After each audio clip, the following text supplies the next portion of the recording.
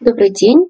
Сегодня у нас э, разбор вместе с ректификацией э, генерала Николая Дронова. Значит, э, разбор данной и ректификация проводится по запросу его родных. А, значит, есть очень хорошая статья про него в Википедии, которая рассказывает о его эм, послужной биографии, о его наградах, о его эм, эм, карьере, но нет совершенно ничего о нем как о человеке. А, некоторые данные мне его э, родные предоставили, и э, опираясь на них, опираясь на какие-то данные из Википедии, получилось э, сделать ректификацию. Но опять же, э, я не могу утверждать, э, что она будет прям супер точная. Это мое видение. Я считаю, что я в него попала полностью. Итак, давайте посмотрим, что же у нас получилось. Значит, эм, Генерал Дронов э, родился 14 декабря 1897 года в городе Алексин Тульской области. А в чем основная сложность ректификации таких карт? Ну, во-первых, в том, что это до революции произошло. До революции э, с часовыми поясами все было весьма проблематично. Их э, просто-напросто э, не было как таковых, и э, разницу во времени э, найти не очень легко. Но на самом деле, э, проведя определенные исследования по времени, по часовым поясам, я выяснила, что в то время разница с Гринвичем составляла 2 часа 31 минуту. Далее, соответственно, мы выбираем координаты города Алексина – и смотрим, что же у нас получилось в натальной карте. Ну и опять же, э, это было больше века назад, уже никто не знает, э, родился он утром, днем или вечером, да, это хотя бы хоть как-то помогло, поэтому мы делаем ректификацию полностью в течение суток. А, что в этом случае сделала я? А, ну, во-первых, во-первых, мы смотрим на портрет человека, да, а, на кого он больше похож, на какой знак зодиака. Естественно, это не дает вам никакого понимания, и мне тоже не дает, а, кем по знаку зодиака является человек. Но мы можем а, понять основные черты какого знака у него будут присутствовать. Значит, если мы э, еще раз посмотрим на его фотографию, а, то я бы сказала, что основные черты э, у него присутствуют, а, принадлежащие э, знаку Сатурна. Сатурн нас справляет Водолеем и Козерогом. То есть я бы выбирала между ними двумя. Итак, а, посмотрим теперь на карту. Значит, соответственно, у нас должно быть скопление планет, либо какие-то очень серьезные планеты, которые у нас будут показывать, что человек у нас реально сатурнянец. Ну, а, вот у нас Козерог, вот Водолей. А ничего такого сильно серьезного здесь нет. У нас есть все серьезное в Скорпионе. Ну, вот. ну, на Скорпиона он не очень сильно похож. Значит, поэтому выбираем уже либо Козерога, либо Водолея. Дальше я смотрела, где у нас расположено а, большое скопление планет. Значит, а, целых три планеты Сатурн, Венера, Марс у нас находятся в Скорпионе. И большая задача расположить его правильно. А, судя по тому, что известно из Википедии и от его родных, основным делом жизни была его военная карьера. Ну, соответственно, а, если мы располагаем планеты а, в десятом доме, в доме карьеры, а, и, соответственно, у нас становится сюда водолей, картина приобретает более-менее понятное выражение. Дальше, соответственно, нам нужно подогнать дробные карты. Я ориентировалась, естественно, на самую основную, это D9, на карту D10 и Исходя из всего этого, могу предположить, что время рождения а, господина Дронова это 11 часов 31 минута, примерно 50 секунд, а, естественно, утра. А давайте посмотрим, что же у нас получилось, исходя из такой карты. Ну, во-первых, мы можем сказать, что человеку с таким положением планет была предопределена военная карьера. Это Сатурн вместе с Марсом, находящийся в знаке Марса в доме карьеры. Сатурн отвечает за дисциплину. Марс отвечает за э, военное дело. В десятом доме э, и находясь в собственном знаке, управитель десятого в десятом может указывать на э, прекрасную карьеру, на э, хорошее владение оружием. На хорошее владение оружием точно так же указывает сочетание Сатурна и Марса. А, например, если мы а, возьмем а, другое сочетание Венера и Марс, то это будет а, так называемая мягкая сила, мягкое принуждение. Сатурн, находящийся в Кендре, будет указывать на то, что человек добьется достаточно хороших высот, у него будет хорошая социальная реализация, он будет не самый главный, но один из главных. Если вы посмотрите на статью в Википедии, вы увидите, что в принципе так оно и было.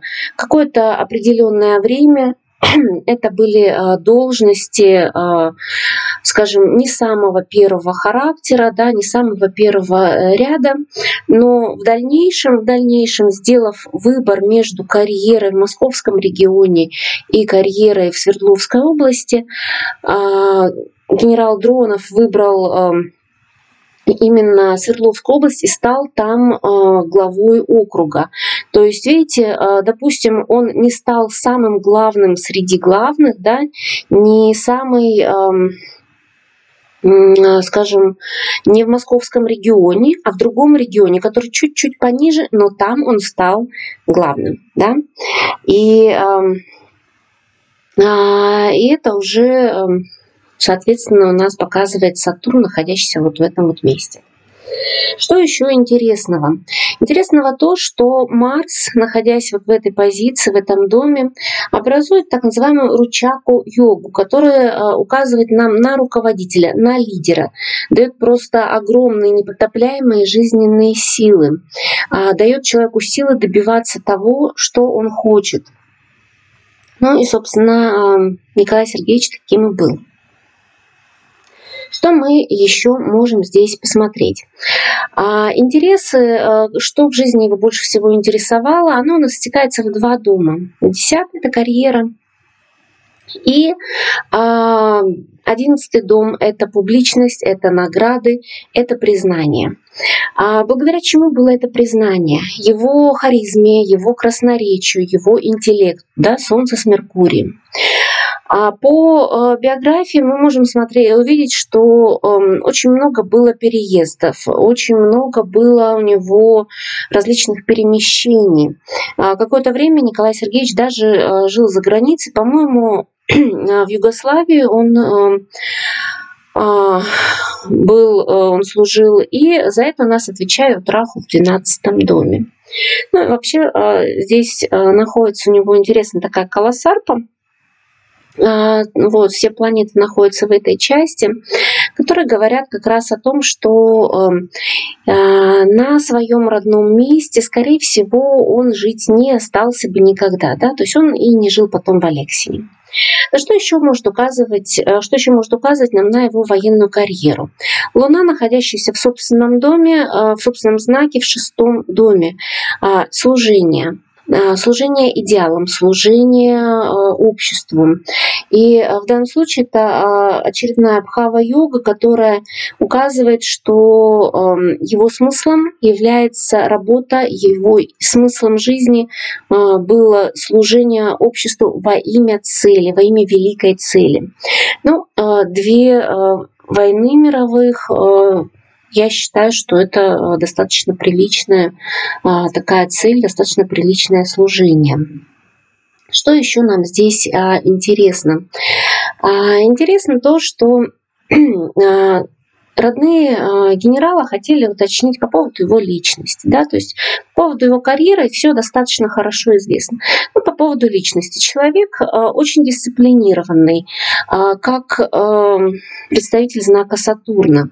Как любой водолей, человек достаточно широких взглядов, поддерживающий какие-то новшества, инновации, стремящийся к переменам, стремящийся к высоким идеалам, верящий в то, что э, добро должно восторжествовать, верящий в то, что люди могут быть, э, могут придерживаться норм морали.